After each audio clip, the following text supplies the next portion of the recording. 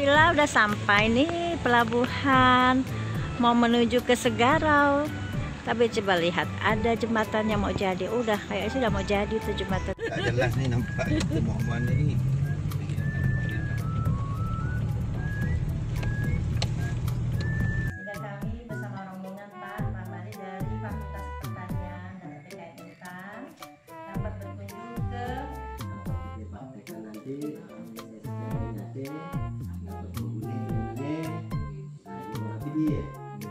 Karena sini yang banyak adalah padi dan jeruk.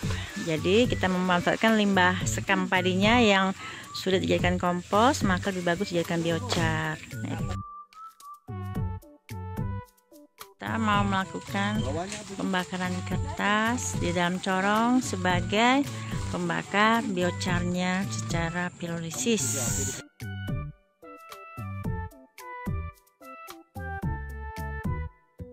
Ya, kita tumpahkan nih kotoran ayam setengah matang nih. Wah, tebarkan kapurnya boleh? Tebarkan kapurnya. Abang, Bang Sadri, bisa enggak empatnya itu dua botol masukkan ke ember hitam. Ini untuk nyiramnya, Bah. Nah, ya.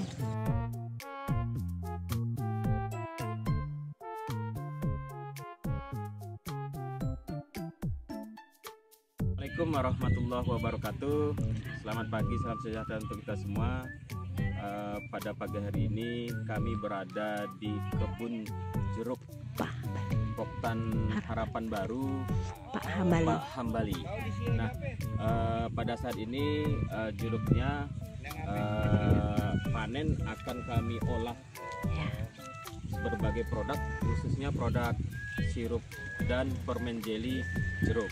Nah, untuk itu eh, marilah kita akan ke kelompok taninya untuk mengolah eh, produk-produk. Terima kasih. Assalamualaikum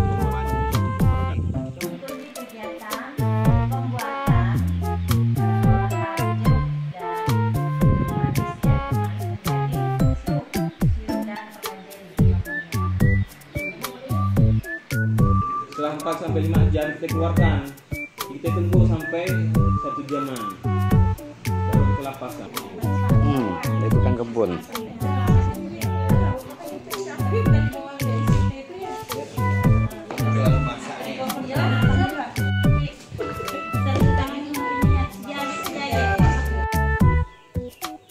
Ini pembuatan sirup jeruk penimbangan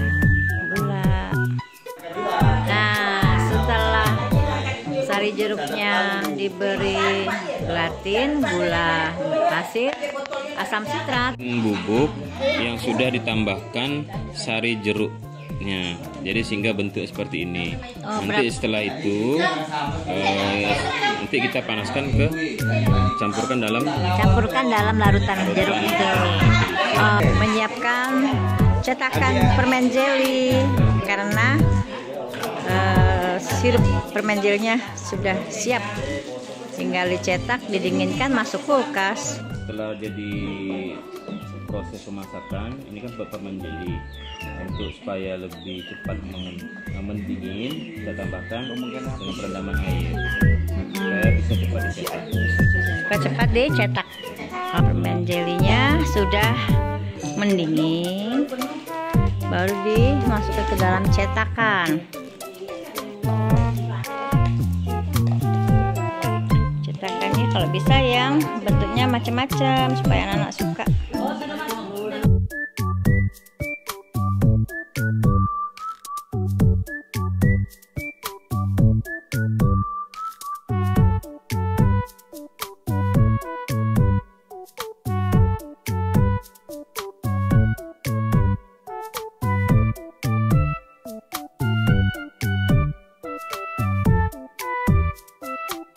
Kita lihat biochar yang sudah jadi ya. Tuh, lihat. Oh. Hmm. Assalamualaikum warahmatullahi wabarakatuh.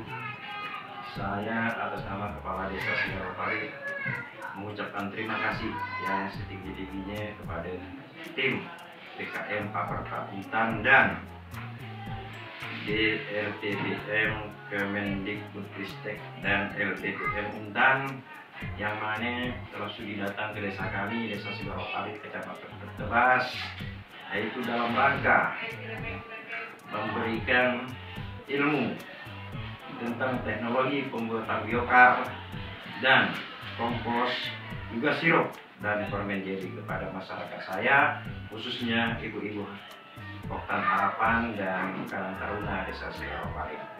Jadi saya atas nama Kepala Desa Sidoropari sekali lagi mengucapkan mudah-mudahan ilmu yang diberikan kepada warga saya bisa kami manfaatkan dan bisa kami jadikan ruang untuk usaha kami di desa Sidoropari. Terima kasih. Assalamualaikum warahmatullahi wabarakatuh. Assalamualaikum warahmatullahi wabarakatuh. Saya atas nama Chandra Karya mewakili dari Bapak Ketua Poktan Harapan Baru yaitu Bapak Ambali mengucapkan terima kasih kepada tim PKM Pemerta Untan dan DPRTM Kemendikbudristek dan LPPM Untan yang telah mentransfer teknologi pembuatan pupuk kompos atau biokar kotoran dan juga permen jelly dan sirup yang rasanya manis.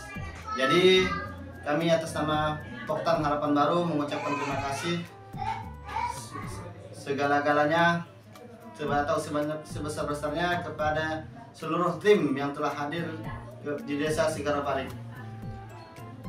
Mungkin itu yang dapat saya sampaikan. Saya hidup wabillahi taufiq Assalamualaikum warahmatullahi wabarakatuh.